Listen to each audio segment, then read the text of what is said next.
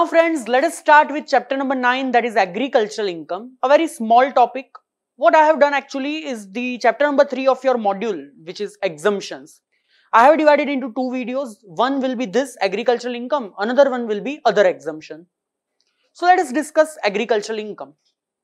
First of all, a basic definition, section 2 clause 1a. See, basically what each and everything related to agricultural produce will become agricultural income. For example, let's say I am a owner of a land and I give this land on a rent to you to do the farming activity. Then whatever rent you will be paying to me, it is agricultural income. Now after doing farming activity, you are giving this for storage in a warehouse near rural agricultural land. Even for them, the storage charges will be agricultural income. Let's say you are giving the product to me.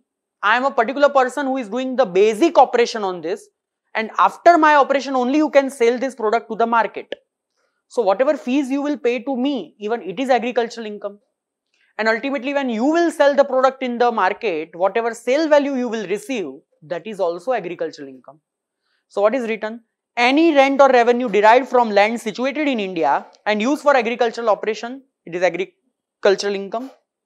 Second, any income derived from such land by agricultural operation, it is also agricultural income. Income derived by processing of agricultural produce, which is, you know, necessary to make the product fit for the market, agricultural income. Income from farm building, which is on rural agricultural land, it will be also agricultural income. And last, if you are selling or sapling or seedling grown in nursery, you know, nursery, small, small plantation, that is also deemed agricultural income. Now, once you decide that something is agricultural income, then while calculating the tax, some of the things you should keep in mind. First of all, section 10 clause 1 says agricultural income if arising from India, it will be completely exempt. So while calculating the income, you should not add agricultural income into the income itself. However, while calculating the tax, sometimes partial merger scheme will get applied. Now, what is partial merger scheme and when it will get applicable? Partial merger scheme will get applicable when these three conditions are fulfilled. Number one, you are a person who is taxable at slab rate, individual HUF, AOP, BOI, AJP. Number two, your net agricultural income, that is income minus expense of agricultural purpose, is more than 5000. And number three, your total income, which is taxable income, it is more than basic exemption limit. If these three conditions are fulfilled, while calculating the tax payable, partial merger scheme will get applied. So, you have to check first whether assessee is this slab rate wala person. If no, then while calculating the tax also, agricultural income is exempt. You don't have to do anything special. But if these are slab rate wala person, then check whether other two conditions are fulfilled. That is agricultural income more than 5000, total income more than basic exemption limit. If yes, then apply partial merger. If no, then that income will also be fully exempt. Now, when I say apply partial merger, what you will do exactly? For example, my total income is 3 lakh rupees, let's say 6 lakh rupees and my net agricultural income which I have not added in the total income because it is exempt is 2 lakh. I am an individual. Can I say I am individual? Condition number 1 satisfied. My net agricultural income more than 5000, condition number 2 satisfied. My total income is more than basic exemption limit, condition number 3 satisfied. So I can't calculate tax on 6 lakh directly. Now I have to apply partial merger. In that step number 1, see what is your total income plus net agricultural income. Can I say 6 lakh plus 2 lakh that will be 8 lakh. Step number two, you calculate basic tax. What I'm saying, calculate basic tax on this 8 lakh. So can I say up to 5 lakh, it will be 12,500. Above that, uh, on 3 lakh, 20%. So my total basic tax will become 72,500. Now step 3, calculate what is your basic exemption limit plus net agricultural income. The basic exemption limit in my example is 2 lakh 50,000 and net agricultural income is 2 lakh. So step 3 will be 4 lakh 50,000. Now step 4 says calculate basic tax on 4 lakh 50,000. So can I say up to 250 no tax above that 5%. So 2 lakh into 5% will be 10,000. This can be said as the tax on agricultural income which government can't collect from you And that's why step 5 says, what is the final basic tax? Step 2 minus step 4. That is this 72,500 minus 10,000, that will be 62,500.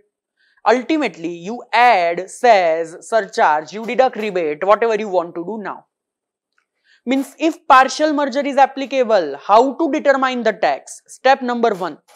Find out total income plus net agricultural income.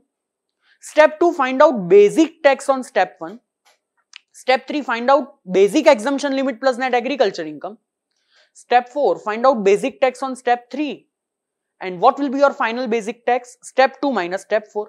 And ultimately you have to apply rebate, surcharge, cess, etc. etc.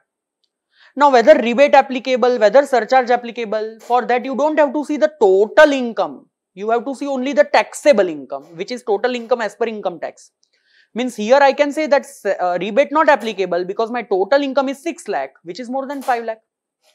Now here in this case, if net agricultural income would have been only 2000, then I wouldn't have applied partial merger because agricultural income is not more than 5000 then what I would have done? Directly on this 6 lakh, I would have calculated the tax. No partial merger at all.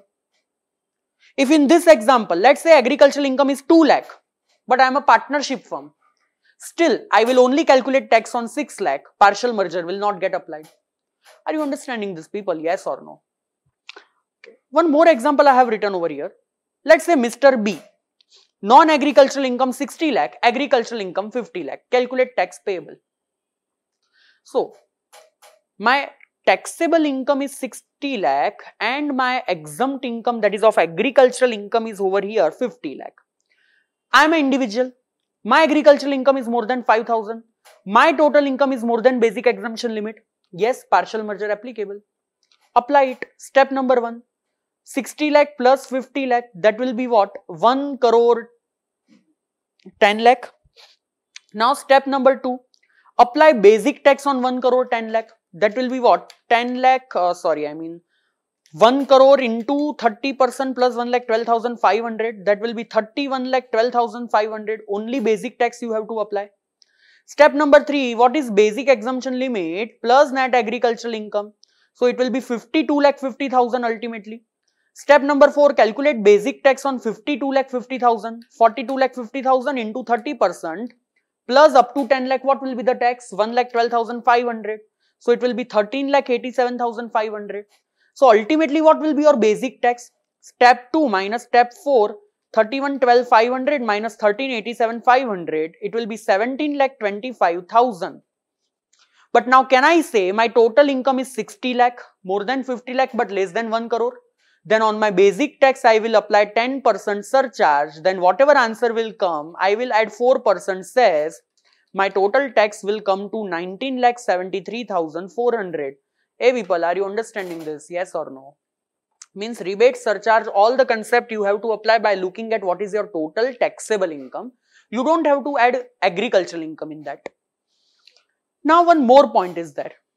In PGBP chapter at the end I have discussed some of the point related to this that what I am having some of the agricultural operation and some of the basic operation and business operation and after that I am selling that product. So can I say whatever income I will get, some of the portion will be PGBP income which is taxable. Some of the income will be agricultural income which is exempt. Let's say I am having the business of tea. Then we have seen 40% PGBP, 60% will be agriculture. If it is rubber, then we have seen 35% PGBP, 65% agriculture. If it is coffee grown and cured, 25% PGBP, 75% agriculture. But if it is also roasted, then 40% PGBP, 60% agriculture. These percentages are specified by the act itself. But what if I am having my farm to prepare sugar cane, I am producing sugar cane, I am taking it to my factory, I am making, converting the same into sugar and I am selling the sugar after all. How to bifurcate this kind of income? For example, farming expense 10 lakh, business expense 5 lakh, I sold ultimately for 25 lakh. What is my total net profit? The total net profit is 10 lakh. Now it contains some of the portion of agricultural income, some of the portion of PGBP income. Then how I will bifurcate? Government said do one thing apply that fair market value wala rule. See, when you took this raw material into your factory, what was the fair market value of agricultural produce? Let's say the fair market value on this date is 13 lakh. Haan, so government said your agricultural income is what? 13 lakh minus 10 lakh, that is 3 lakh rupees is your agricultural income. And this 13 lakh will be by default your business expenditure. Station wala rule, business expenditure. So now what will be my business income? 25 lakh minus 5 lakh business expense minus this fair market value of 13 lakh that is 7 lakh. You see carefully, I divided my 10 lakh into 3 lakh and 7 lakh just by using a single concept of fair market value. So, what will come over here? If common activity is there having agricultural and non-agricultural activities, then how to bifurcate? For manufacturing of rubber, tea, coffee, I just said the percentage. For other common business, assume that agricultural produce is sold in the market. So what will be agricultural income? Fair market value minus agricultural expense. And now what you will assume that those product is purchased from the market. So what will be PGBP income? Sale value minus business expense minus fair market value of agricultural produce. And that's how I will bifurcate. Are you understanding this people? Yes or no? So that is what important topics were there from agricultural income chapter. Thank you so much.